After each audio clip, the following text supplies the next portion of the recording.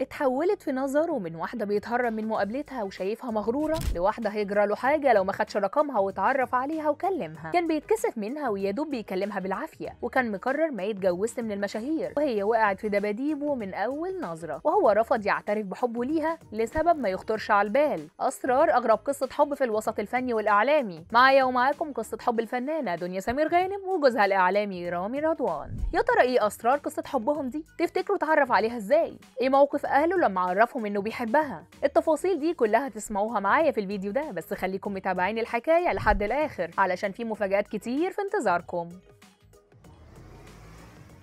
قصة حب دنيا سمير غانم ورامي رضوان. من أغرب قصص الحب اللي حصلت كل قصة من اللي سمعتوا عنها كوم ودي كوم تاني خالص. يلا ركزوا معايا وبلاش حكايتهم تخليكم واقفين مبلمين ومذهولين وعمالين تقولوا سبحان الله. النصيب غلاب وقادر يغير القلوب من حال لحال. رامي رضوان كان واخد قرار مع نفسه إنه عمره ما هيتجوز من الوسط الإعلامي أو حتى الفني. مش عشان لا سمح الله الوسط ده وحش لا بس هو شايف نفسه تعبان في الشغل ومحتاج يلاقي مراته في البيت مستنياه. يعني بلاها مشاهير وكده. ومن الآخر هو كان في الفترة دي مش في دماغه خالص حوار الجواز وكل اللي مركز فيه شغله وبس. بالذات إن كان كل يوم بيخبط مشوار قد كده من بيته في الشروق لحد مدينة الإنتاج الإعلامي اللي هو فرهضة مفيش بعد كده زيها. المشوار ده كان بيخليه يكسل يخرج مع صحابه أو يعمل أي نشاط يرفه بيه عن نفسه. أهل رامي رضوان كانوا بيتحايلوا عليه يتجوز أي واحدة سواء بقى من قرايبهم أو من أي مكان. المهم إنهم يفرحوا بيه ويشوفوه عريس وهو يقول لهم حاضر هتجوز بس استنوا شوية. أما دنيا سمير غانم فكانت مركزة في شغلها ومفيش حد خالص في حياتها.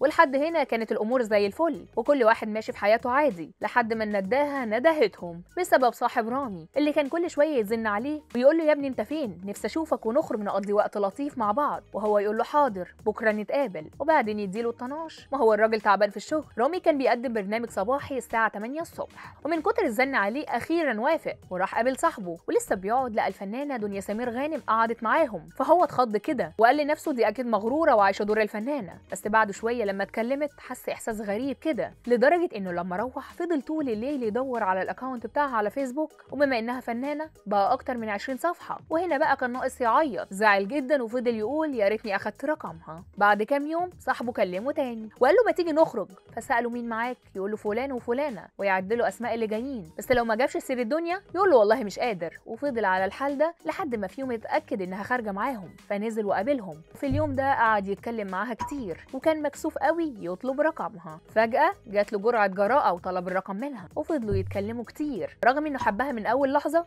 بس تقل عليها. وما رضيش يعترف غير لما اتأكد إن هي كمان بتحبه. وهو الاتنين عايشين في تبات ونبات ومعاهم كايلا ويقال البيبي التاني جاي في السكة. إيه رأيكم في قصة حب دنيا سمير غانم وجوزها رامي رضوان؟ يا ترى مستنيين مولود جديد في حياتهم ولا إيه؟ شاركونا توقعاتكم في التعليقات.